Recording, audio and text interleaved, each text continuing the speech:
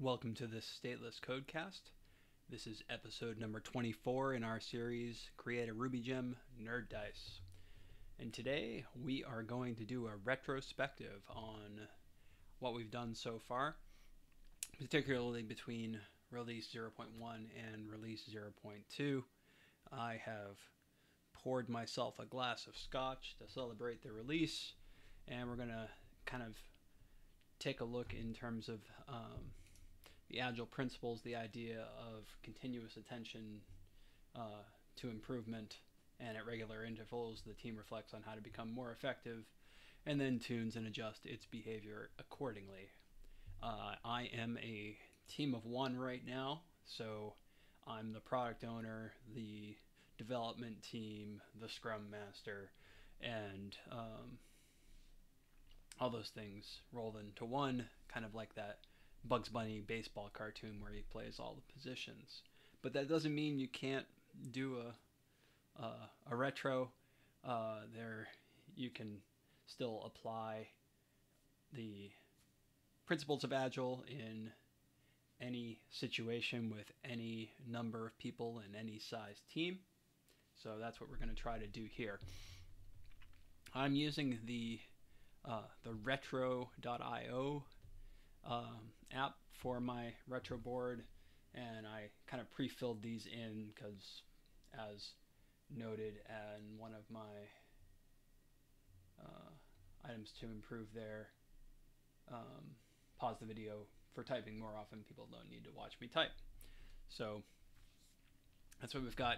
It this uh, is uh, reetro.io it looks like retro but um, they're from denmark so maybe that's how you spell retro there i'm not sure. Uh, or maybe they just couldn't get the domain name and still pronounce it retro. But i listened to the videos they pronounce it retro it looks like retro. Uh, but they've got a, a pretty good free option for a retrospective board, and so that's what we're going to uh, to use it for. So, if you're not familiar with the the agile retrospective idea, the idea is that you you want to document what went well, what uh, could have gone better, or things to improve, and then action items on those. So that's kind of what we've got here. I did some color coding, um, kind of green for things that were good and stay good, and then blue for things that uh, improved or uh, adapted during the course of the uh, what we'll call the sprint, and then um, in terms of to improve, I just kind of went red, orange, yellow in terms of uh, severity of the things I want to improve, and I've kind of come, got them stack ranked here. Uh, typically, you can do this depending on how large your team is. You could do it um, kind of where you can see here my name is shown.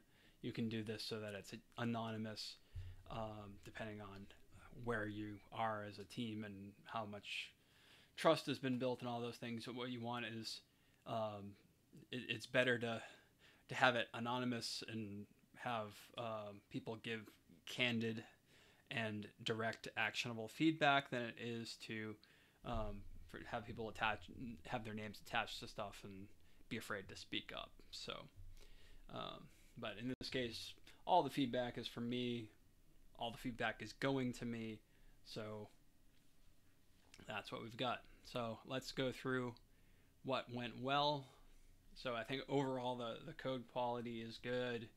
The um, what we're developing is is running well. The um, the improvements and uh, things that we did with uh, our random generator over version 1.1, um, I think really did improve the performance, even though it's still quite fast just when you call normal rand. Um, I think we got to the bottom of some of those things, explained some of the random number generation things to um, in that random generation video. I think it was number 11 in the series, and uh, went on here. I'm also noting here that the uh, the retro is not limited to uh, coding stuff related to the gem. So you can see there's stuff here about my uh, audio balance when I'm recording. Everything's fair game here. Um, the test suite still runs quickly, so that's one thing that you want to be able to do is have tests that run quickly because you'll run them more quickly and uh, you, you run them more often and um, not have a situation where you, you need to every time you run your test suite you need to go get a cup of coffee or take a walk or something like that while it runs uh, which can especially when if you're running a large rails application with a lot of um, integrations and stuff like that that can be a uh, something to watch out for. The the audio balance between intro and talking uh, has gotten better so in the first few videos that I released, you had that blast of hack the stateless code, and then you could barely hear me talk for the um, for the other start. So you'd have to kind of the user would have to turn stuff down, turn stuff up, or um, just um, I don't know what they do, but um, not listen past the intro. Uh, so we've got that. The um, I'll note here the we'll also we improved our um,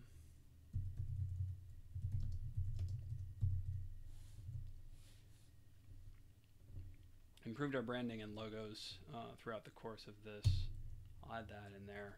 Um, so we added during one of these issue during one of these um, things here we go to the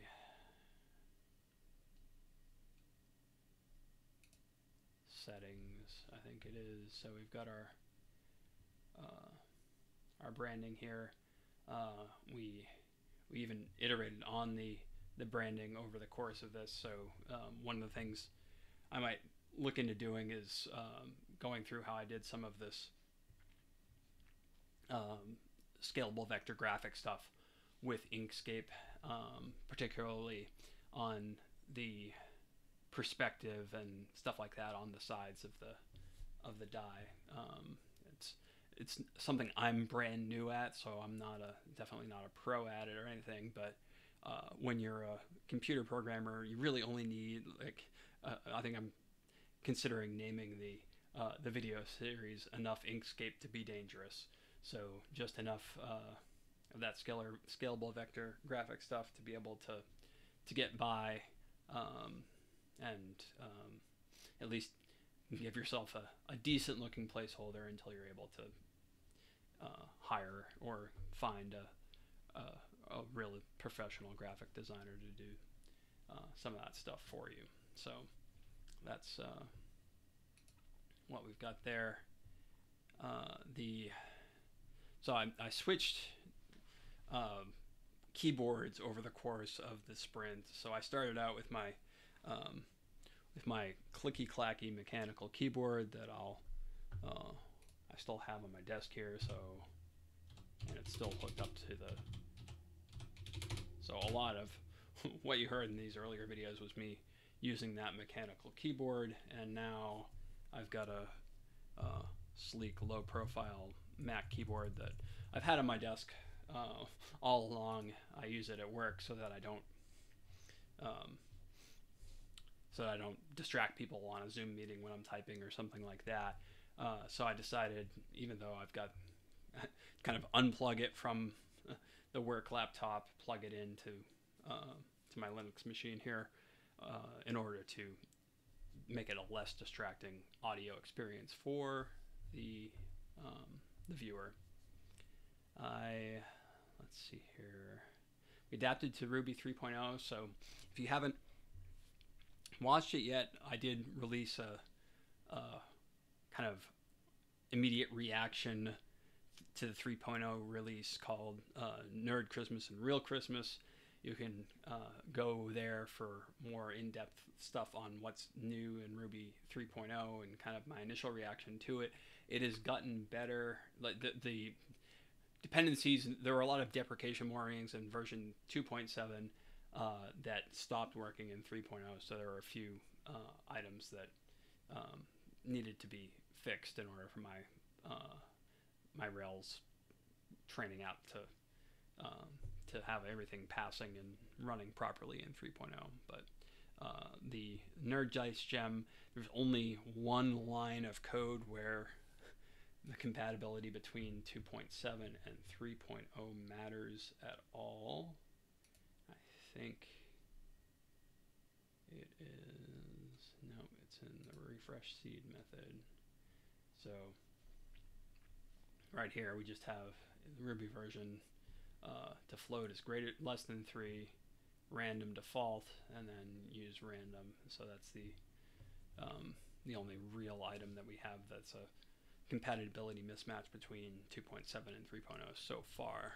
Um, and uh, from seeing, seeing some of those other gems fail in that was what caused me to um, rethink what I was doing in terms of the um, the keyword arguments here. So I had before options equals empty hash, and you had to kind of include that uh, empty hash instead of using the keyword argument. So people messing it up and getting deprecation warnings caused me to look more into that, and I, think it's a better.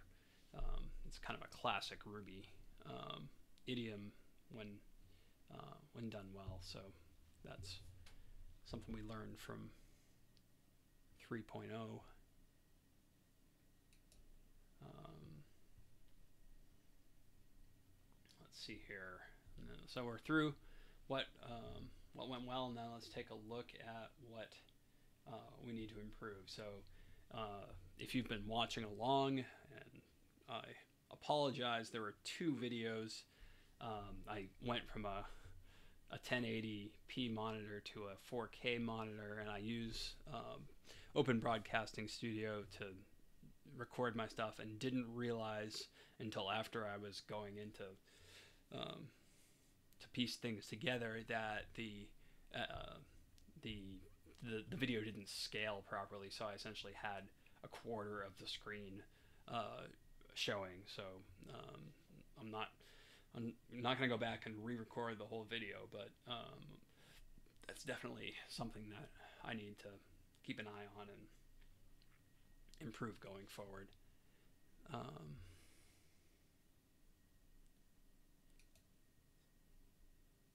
which, I really hope I've been.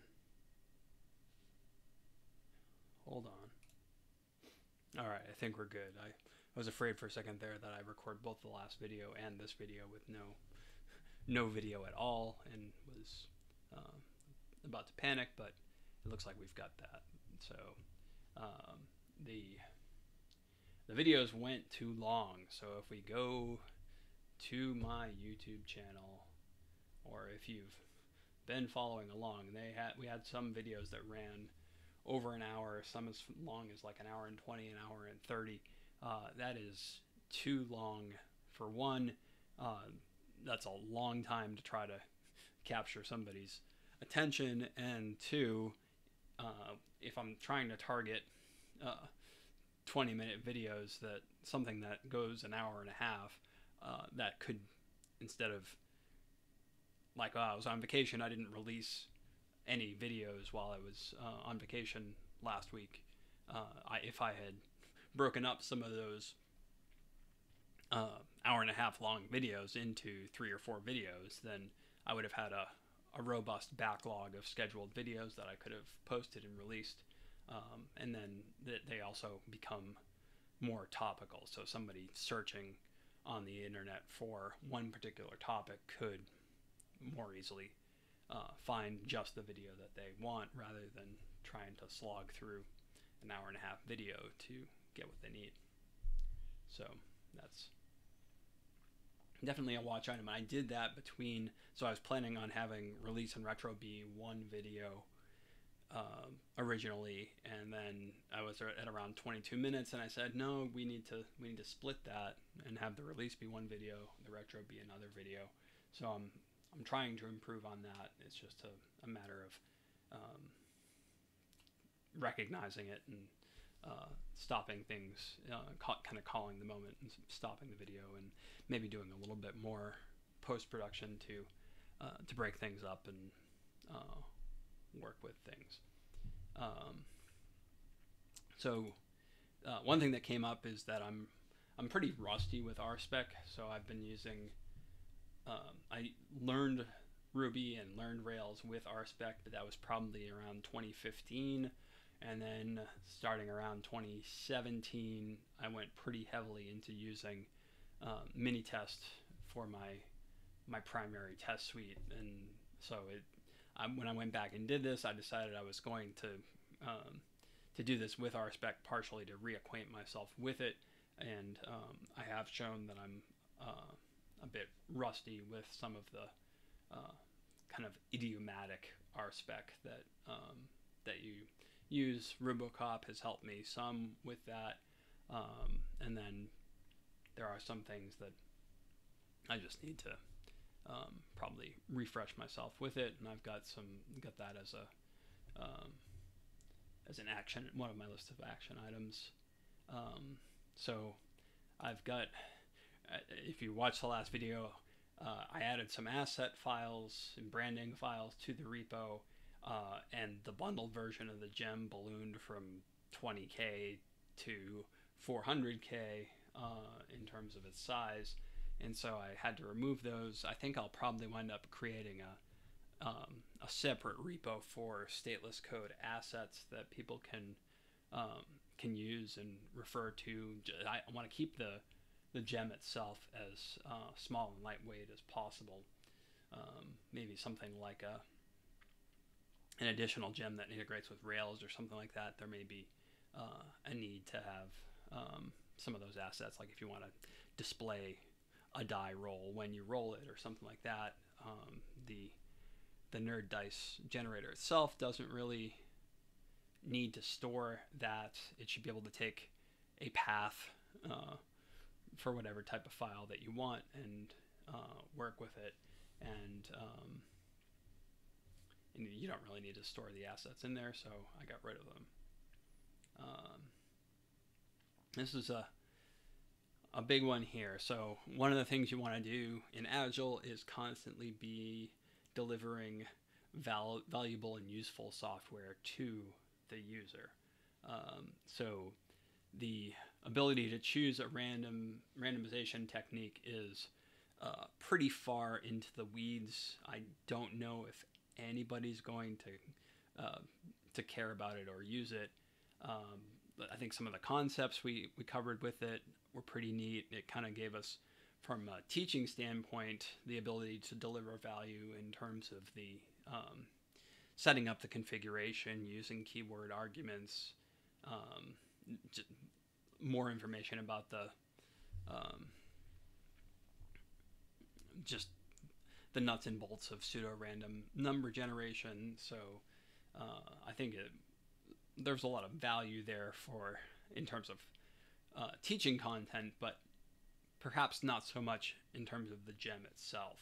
Um, that we, we, threw in a, a, default configuration, but I, I don't know um, really how much users will uh, do any customization of the uh, the randomization because um, they probably don't care unless they're running a casino, in which case they probably want to roll their own uh, randomization rather than using mine anyway.